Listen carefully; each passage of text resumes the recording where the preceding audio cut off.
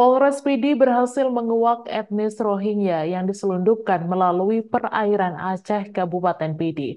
Terungkapnya penyelundupan manusia perahu itu setelah polisi menangkap seorang lelaki berinisial HM di Kem Minaraya, Kecamatan Padang Tiji oleh Satreskrim Polres Pidi pada November 2023. Ternyata HM yang tinggal di Chong Bazar, Bangladesh itu diduga sebagai agen yang menyelundupkan etnis Rohingya dari Kem Bangladesh ke Kabupaten Pidi Aceh.